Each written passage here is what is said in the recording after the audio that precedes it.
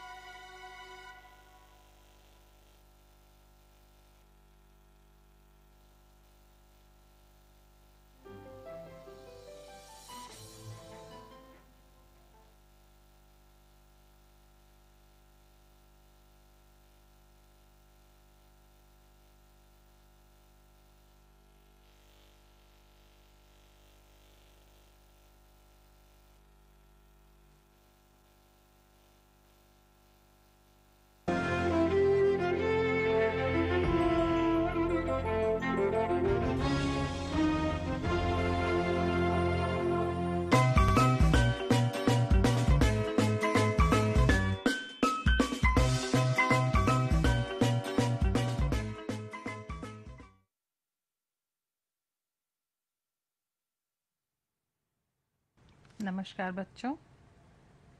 मैं आपकी शिक्षिका मधु बाजपेयी, प्रधानाचार्य प्राथमिक विद्यालय प्रसादी खेड़ा से। आज आपके लिए एक नया पाठ लेकर आपके सामने आई हूँ। बच्चों, ये आपके सामने जो चित्र है, इसमें आप क्या देख रहे हैं? इस चित्र में आप उगता हुआ सूरज रंग बिरंगा आसमान देख रहे हैं। बगीचे में सुंदर फूल खिले हुए हैं। ये आपके सामने। आप बता सकते हैं ये किस समय का चित्र है? सही समझा आपने। आप सब समझ गए होंगे बच्चों कि ये प्रातः काल का चित्र है, सूर्योदय के समय का चित्र है। इसमें हम सूर्योदय देख रहे हैं और सूर्योदय के समय की फैली सुंदरता देख रहे हैं। रंग बिरंगा आसमान है, सुंदर से फूल खिले हुए हैं। ये प्रातः काल का चित्र है।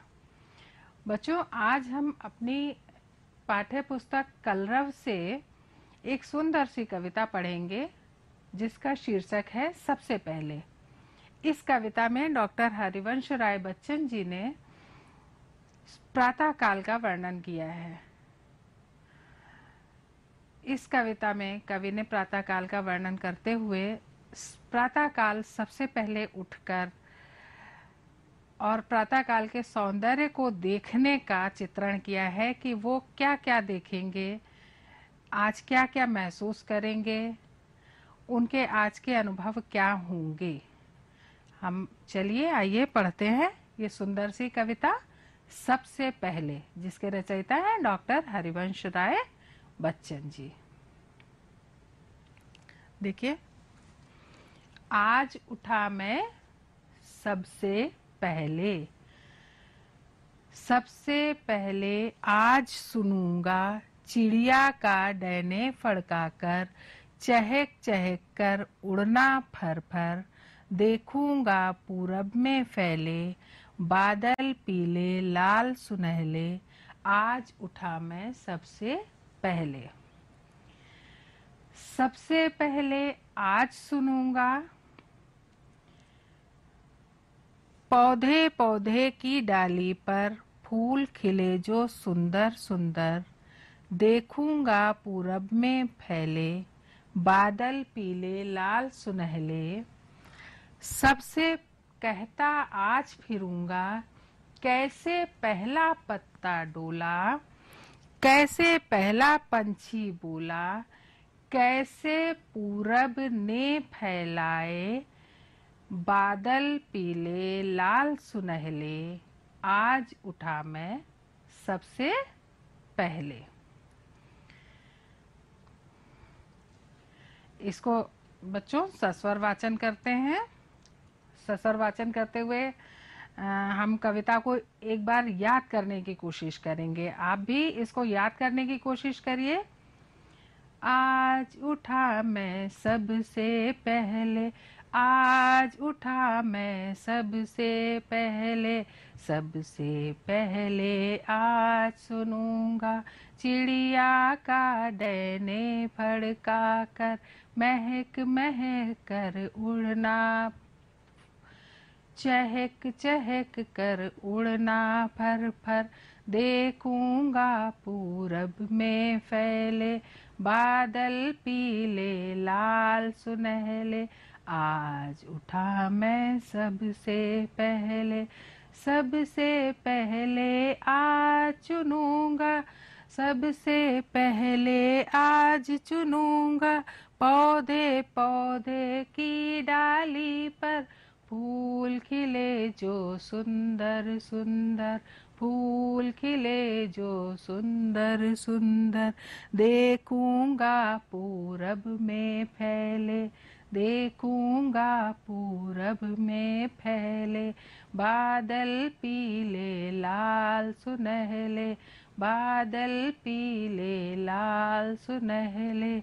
आज उठा मैं सबसे पहले, आज उठा मैं सबसे पहले। सबसे कहता, आज फिरूँगा। सबसे कहता, आज फिरूँगा। कैसे पहला पत्ता डोला? कैसे पहला पत्ता डोला? कैसे पहला पंछी बोला? कैसे पहला पंछी बोला? कैसे पूरब ने फैलाए? कैसे पूरब ने फैलाए? बादल पीले, लाल सुनहले। बादल पीले, लाल सुनहले। आज उठा मैं सबसे पहले। आज उठा मैं सबसे पहले। आज उठा मैं सबसे पहले। तो बच्चों, इसी तरह आपको भी सस्वर वाचन करते हुए ये कविता याद भी करनी है। बहुत सुंदर सी कविता है, आप देख ही रहे होंगे, प्रातःकाल का सुंदर वर्णन किया है कवि ने। तो इस कविता को हम इसी तरह याद करेंगे। अब आते हैं बच्चों काठिन्य निवारण की ओर। कुछ शब्द ऐसे आपने देखे होंगे इस कविता में, जो कि आपको कुछ कठिन लग रहे होंगे, जिनका अर्थ आपको समझ नहीं आ रहा होगा, कविता समझने के लिए उनका अर्थ बताते हुए मैं आपको वाक्य प्रयोग भी बताऊँगी। जैसे पहला शब्द है डायने। डायने किसको कहते हैं? बच्चे, कुछ लोगों की अपनी भाषा में शायद ये शब्द प्रयोग होता हो तो मालूम हो, लेकिन सभी बच्चों को नहीं मालूम होगा। डायने कहते हैं पंख को। चिड़िया के जो पंख होते हैं, उनको डैने कहते हैं। इसका जब हम वाक्य में प्रयोग, इसका अर्थ बहुत अच्छे से समझने के लिए, हमें वाक्य में प्रयोग करना होगा इसका। डैने माने पंख, चिड़िया अपने बच्चों को डैने में छिपाकर बैठती है। ठीक है? आप लोगों ने देखा होगा जब घोंसले में चिड़िया अपने छोटे बच्चों को लेकर बैठती है तो अपने पंख के नीचे छिपा लेती है। तो डैने का मतलब आपको समझ आ गया होगा? चुनूँगा। चुनूँगा का मतलब है, अर्थ है एकत्र करूँगा। अभी मैं अपने बगीचे से पूजा के लिए फूल चुनूँगा। ठीक है?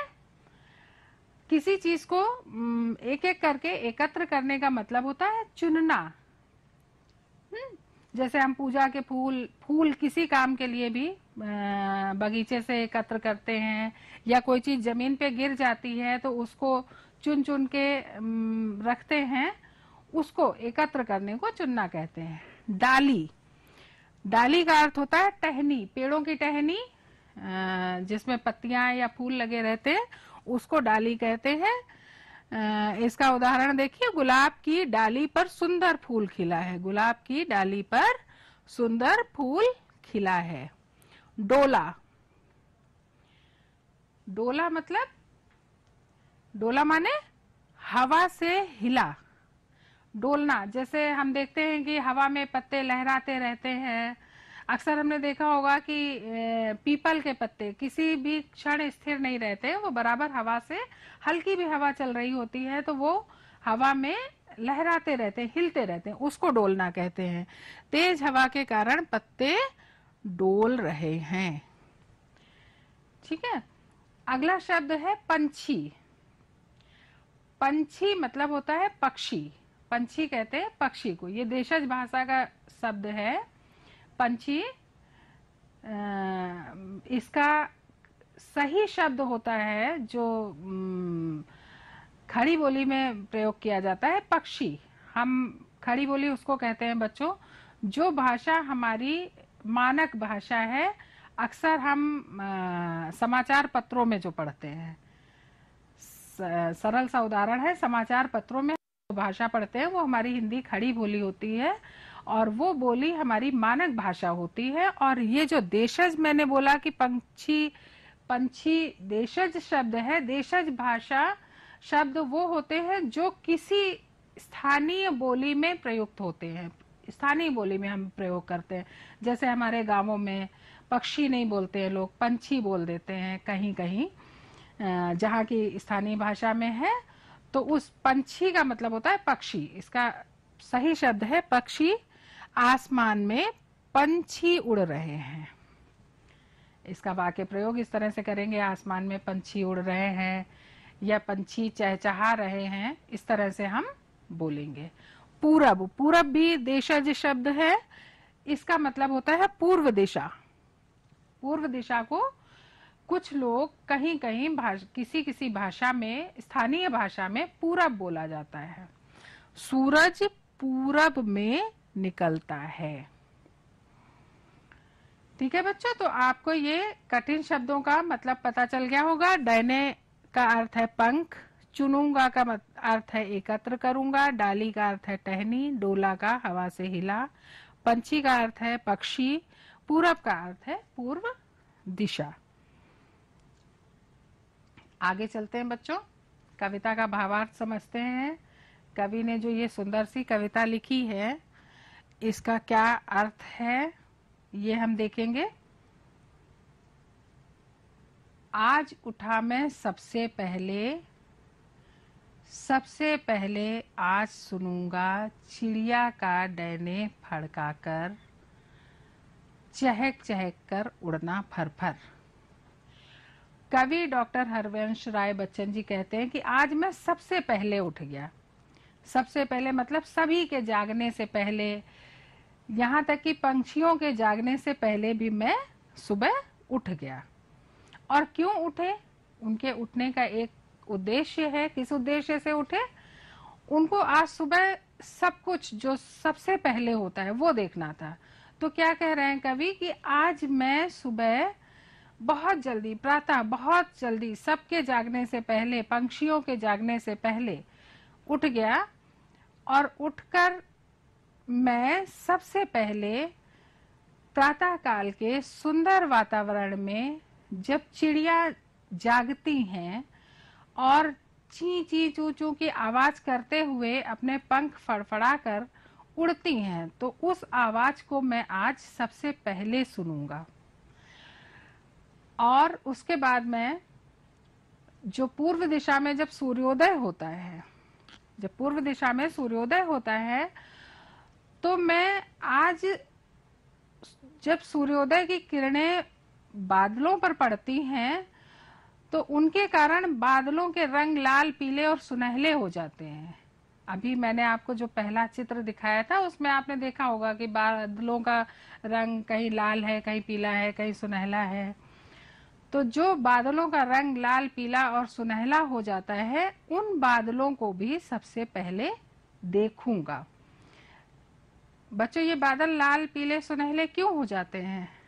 आपको पता है आ, बादल में पानी होता है और उस पानी पर जब सूर्य की किरणें पड़ती हैं तो वो सूर्य की किरणों के रंग अलग अलग छिटक जाते हैं और वह कई रंगों में हमें बादल दिखाई पड़ने लगते हैं। तो वो सुंदर से जो लाल, पीले और सुनहले रंग के बादल हो जाते हैं, आज मैं सबसे पहले उन बादलों को देखूँगा। प्रातः काल में पौधों की डालियों पर जो सुंदर सुंदर फूल खिले हैं, आज मैं सबसे पहले उन फूलों को एकत्र करूँगा। बच्चों, आप देखते होंगे कि सबसे ज़्यादा फूल, जो भी फूल खिलता है, वो प्रातः खिलता है। सूर्योदय के साथ ही फूल खिलना भी शुरू हो जाते हैं। जैसे ही सूर्योदय होता है प्रातः काल का समय आता है तो फूल भी खिलना शुरू हो जाते हैं, सूर्य के किरणों के पड़ते ही। तो कवि कहते हैं कि मैं प्रातः काल सबसे पहले इसीलिए उठा हूँ कि जो प्रातः काल पौधों की डालियों पर जो सुंदर सुंदर फूल खिले हुए हैं, मैं आज सबसे पहले उन्हें एकत्र करूँगा। और साथ ही मैं पूरब में फैले पीले, लाल और सुनहले रंग के बादलों को भी सबसे पहले देखूँगा।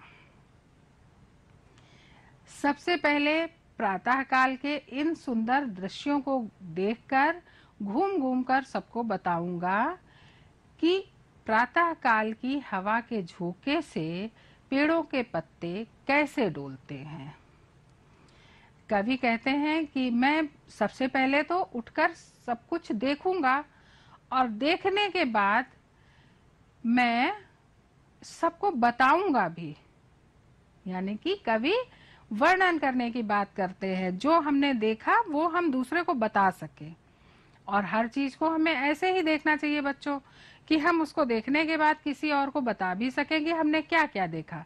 तो कवि जो देखेंगे अभी तक आपने देखा? कवि ने क्या क्या देखने की बात कही? चिड़ियों का पंख फड़फड़ा कर और ची ची चू चू करते हुए उड़ने की बात कही। और पूर्व दिशा में फैले बादलों को जो रंग बिरंगे हो गए हैं, उनको देखने की बात कही। तो जब कवि ये सब देखेंगे और देखने के बाद वो बच्चों को, सभी को ये बताना चाहेंगे। ठीक है बच्चों? सभी को बताएँगे। कवि क्या कहते हैं कि मैं सबको बताऊँगा, घूम घूम कर सबसे कहता फिरूँगा कि प्रातः काल की जब हवा चली तो पहला पत्ता कैसे डोला उससे? यानी पहले पत्ते ने किस तरह से पहला पत्ता आंदोलित हुआ, हिला डुला, वो सबको बताऊँगा। और मैं ये भी बताऊँगा कि पहले सुबह सुबह जब पक्षी जागते हैं तो कैसे बोलते हैं? सुबह की चहचहाहट पक्षियों की, वो भी मैं किसी, सभी को बताऊँगा। और पूर्व दिशा में किस प्रकार से सूर्य का प्रकाश फैलता है और उस प्रकाश से बादल कैसे लाल, पीले और सुनहले रंगों में रंग जाते हैं और कैसे ये बादल इन सुंदर रंगों में रंगे हुए अपनी सुंदरता के साथ फैलते हैं आसमान पर। ये सब मैं सबसे कहता फिरूँगा, खुश होके सबको बताऊँगा और प्रकृति के इन्हीं सुंदर दृश्यों को देखने के लिए मैं आज सबसे पहले उठा हूँ।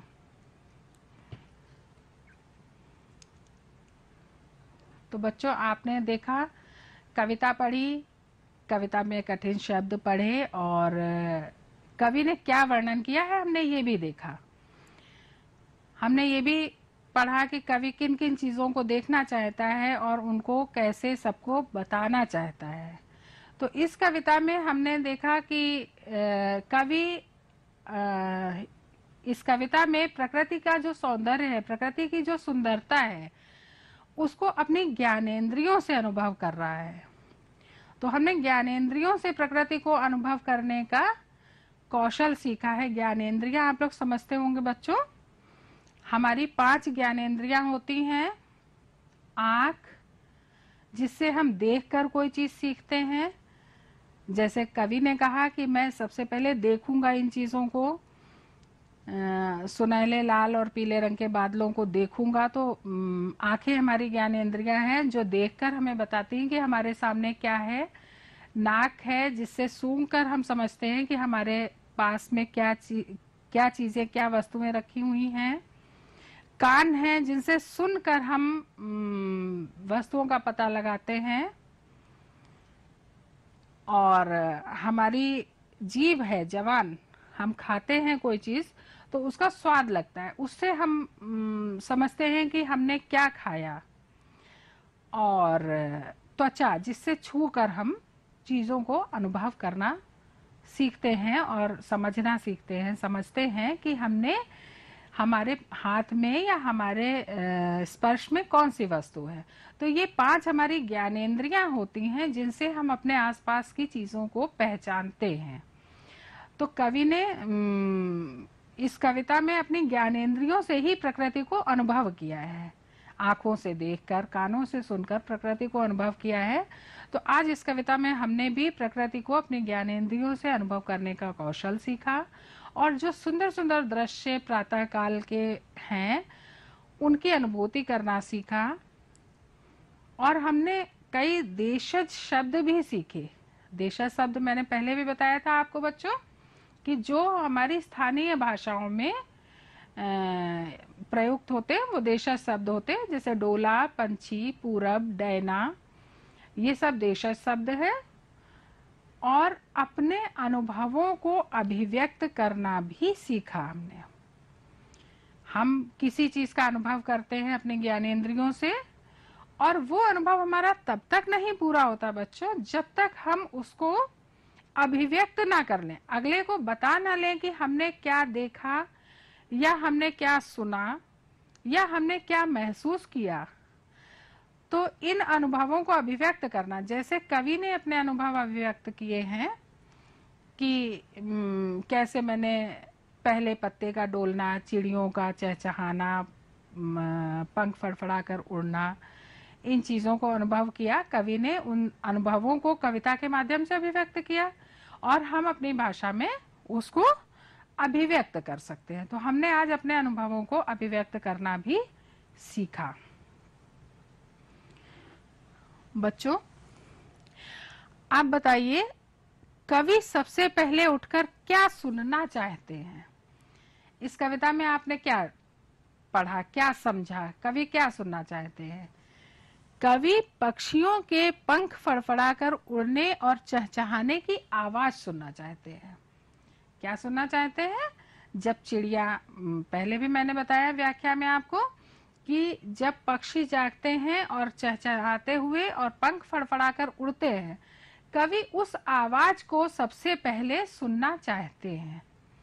कवि क्या देखना चाहते हैं? कवि पूरब दिशा में फैले, पीले, लाल और सुनहले बादलों को देखना चाहते हैं। बच्चों, ये अनुभूति आपको प्रातः काल ही हो सकती है। सूर्योदय के समय ही, अगर आप प्रातःकाल सूर्योदय के समय उठेंगे, तभी आप ये रंग बिरंगे जो बादल जिनका ज़िक्र किया है कवि ने, जिनका वर्णन किया है अपनी कविता में, वो प्रातः काल ही आप देख सकते हैं। तो कवि इसीलिए सबसे पहले उठे हैं और सबसे पहले क्या देखना चाहते हैं उठ के? पूरब में फैले लाल, पीले और सुनहले बादल देखना चाहते हैं। कवि क्या चुनना चाहते हैं? प्रातः उठकर कवि सबसे पहले उठकर क्या चुनना चाहते हैं?